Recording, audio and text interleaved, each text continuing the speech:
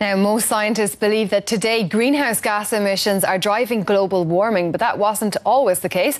With us today in studio is Professor Achim Brauer from the German Research Center for Geosciences in Potsdam. Welcome to the show and thank you for joining us. Now, you are an expert in solar activity that's happened in the past, specifically 2,800 years ago, is what your study is focusing on. How does that differentiate uh, from the report?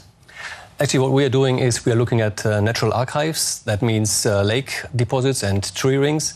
And we try to find out uh, in times when humans could not measure temperature and precipitation how the sun was affecting, uh, affecting the climate.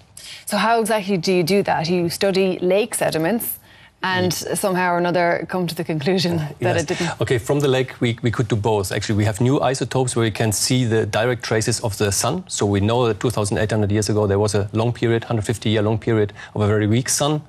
And at the same time, we can look at the composition of these layers, these seasonal layers, uh, which are a millimeter thick. So we look in the microscope, and then we can find out about different seasons and, and climate in the seasons. So what we got from this is that especially the spring seasons were very windy, so we had an increase in wind activity, so changes in atmospheric circulation at around the time when the sun was weak. Okay. How far can you go back? In principle, we can go back 10,000 years, 11,000 years, so as long as the present day warm, uh, present uh, warm period was. Okay, well, uh, let's go back then to uh, the more distant past, the, the, Little Ice Age, which started in the 16th century. And in our report, it said that um, the dip in temperature had nothing to do with uh, solar activity, but rather volcanic activity. How do you feel about that?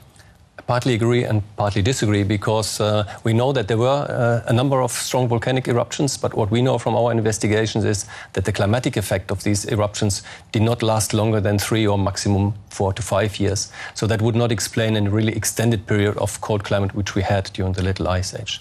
And actually, that was the reason why we went another uh, to look at another period of solar minima 2,800 years ago because there were not so many volcanic eruptions.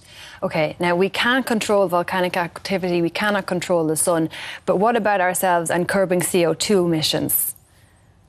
Um, I mean, if, if you just would like to discuss a little bit what this is meaning for the future, I can say that we know that this has been happening in the, in the past in this way, so that the strong, sun had a very strong impact on the climate. What is in the future, we do not know because of these uh, greenhouse gas emissions. And uh, so we have uh, two different effects. And I think it's uh, very important to reduce these emissions to keep the system in a, in say, natural state of variability. How optimistic are you that we're going to be able to limit our CO2 emissions? Um, as a person who is, uh, likes to learn from the past, and if I look in the last 15 years, uh, I can say that it was not really successful. A lot of people would like to have reduced the emissions, but at presently we are at a stage where uh, we have CO2 emissions as high as never before.